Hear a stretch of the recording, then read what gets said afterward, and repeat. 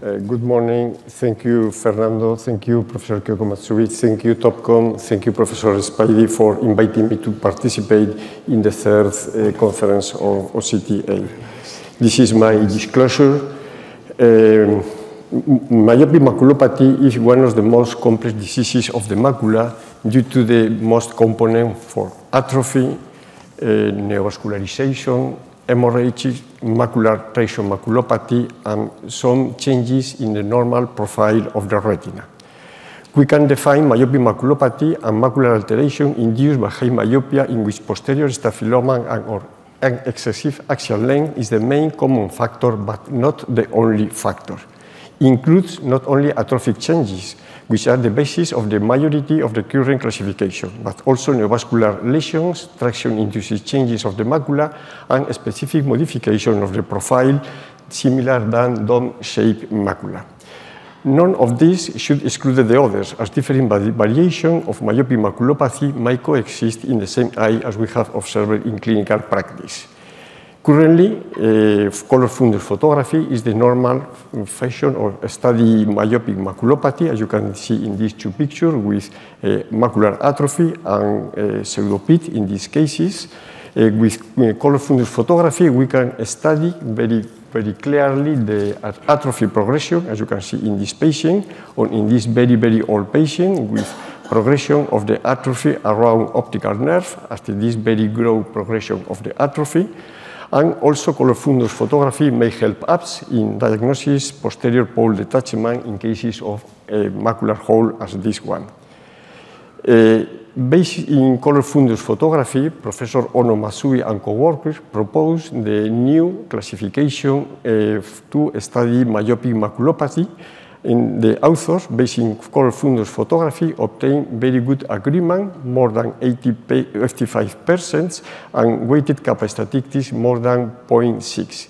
That is good classification and will be reproducible for study and for classified myopic maculopathy. In some cases, we need to study myopic maculopathy, fluorescein angiography to detect choroidal neovascularization with or without blood, as these two cases, or in other cases, if there is a lot of blood, it's necessary to perform ICG, indocyanine green angiography, to discard, as in this case, the absence of choroidal neovascularization, as you can see in the normal evolution without treatment in this patient. Fundus autofluorescence can help us to uh, perfectly eliminate the uh, changes in the RPE in myopic patient because not always is very easy to detect. But, if, uh, but in my opinion, is OCT, especially Swiss OCT, who has for us more information to know and to study uh, myopic maculopathy. We can see one case of macular hole in one with Swiss OCT. We can see not only the retina, the hole, the choroid, the sclera, and also the uh, fat, the fat of the orbital fat. We can see the evolution of the cases. Uh, one question before, can we obtain these images? If we perform OCT with contact lens, the image is more clear if we perform without contact lens in these patients. We can study with uh, OCT perfectly the evolution of myopic CNV as two cases of active myopic CNV, the second stage of the diseases, scar, and the third stage of the diseases, atrophy, perfectly identified with uh, Swiss OCT. We also now, and we can study myopic traction maculopathy in horizontal and vertical uh, uh, B scans and the evolution of the patient after performing surgery. Another two cases with myopic traction maculopathy and with Jesus, we can analyze perfectly the evolution after vitrectomy and peeling. But also, we can the possibility to perform OCTA to analyze and to identify choroidal neovascularization, not easy in some cases of high myopia.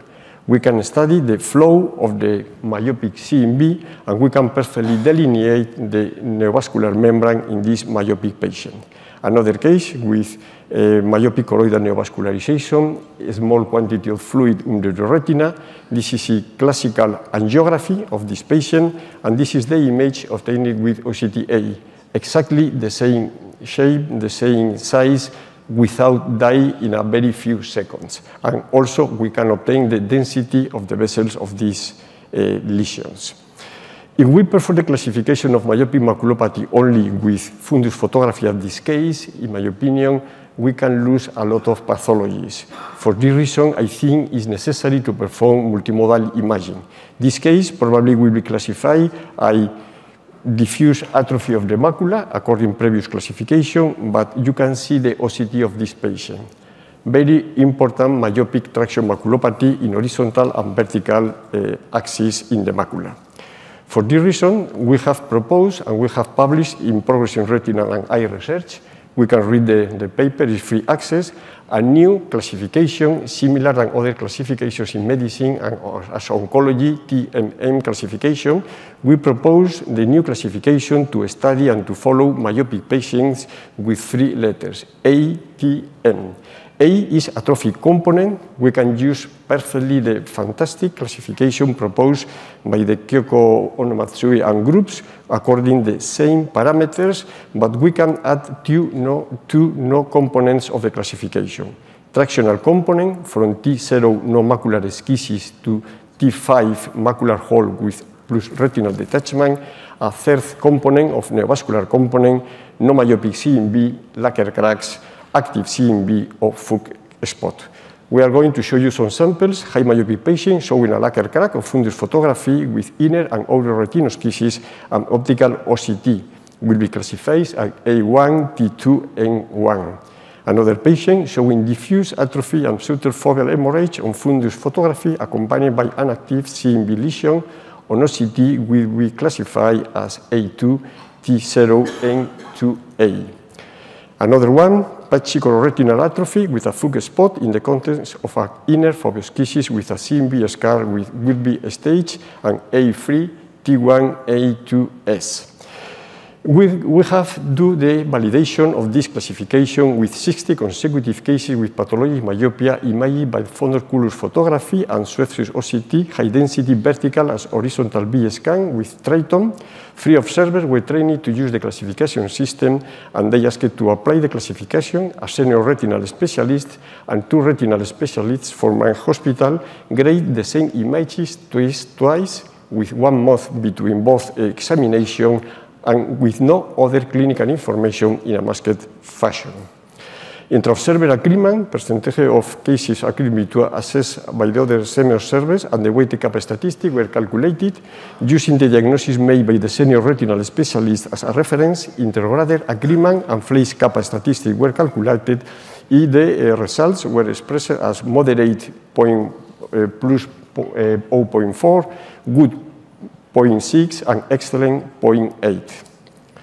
Uh, this is some examples of the classification with color fundus photography and two OCT structure images. We can analyze the different cases in this case without traction, uh, uh, macular traction maculopathy, in this case only atrophy, another traction myopic maculopathy of dome-shaped macula in this case. But this classification serves us not only to study one, uh, to study one static situation, we can evolve during the time. This is a patient operated by refractive surgery 30 years ago develops uh, 12 years uh, choroidal neovascularization. At this moment, the classification will be A2T0N2A, was treated with uh, anti-VEGF injection. The choroidal neovascularization changes to N2S, and 10 years later, the patient developed traction maculopathy, changing to T0 to T1. The patient was operated on by vitrectomy, peeling the membrane, and this is the actual situation of the patient, and this is the actual classification according our proposal.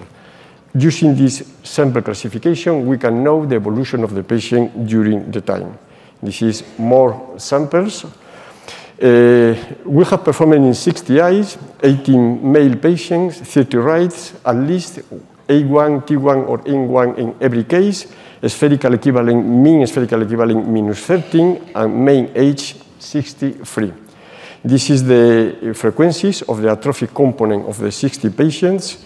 This is the frequencies of the traction component of the 60 patient and the frequencies of the neovascular of our patient. This is the result of intergrader agreement. For atrophic component, the intergrader agreement more than 90%, this is very, very good results, but for traction and neovascular is 97 or 96, very good results. The value of kappa, weight kappa, to, to know the evolution intragrader agreement was always perfect, except this one is my mistake, is only good. If we analyze the intergrader agreement, is the comparison between three observers, we found 80 for atrophic, 94 for traction, and 90 for neovascular. That is very, very good results with a very high level of kappa statistic. This is the results for the uh, different uh, variable atrophic lesions, one, two, three, four levels. This is the results for traction, and this is um, the result for variable neovascular uh, study. The limitation of our study, only 60 cases have been studied. The ATN classification must be validated not only by our research, by also international investigators, and uh, our classification does not consider dome-shaped macula. Probably if we add one letter more, maybe ATND, with D0 no dome-shaped macula, D1 dome-shaped macula, and D2 dome-shaped maculopathy will improve our classification. In conclusion, myopic maculopathy must, must be studied always by fundus exploration, retinography, and OCT. Fundus autofluorescence can help us to study the retinal pigment epithelium, Angiography, fluorescein angiography on OCTA much better is necessary in cases of suspicion myopic CNV. ICG is only necessary in a very few cases. A new ATN classification of myopic maculopathy offers us a good information about the pathology of our myopic patients, not only at this moment, only the evolution during time, and it's possible to share this information and only to know the evolution of our patient in the clinic. I want to thank my collaborators in my, in my, hospital to perform this classification and everybody for your kind attention. Thank you. Thank you.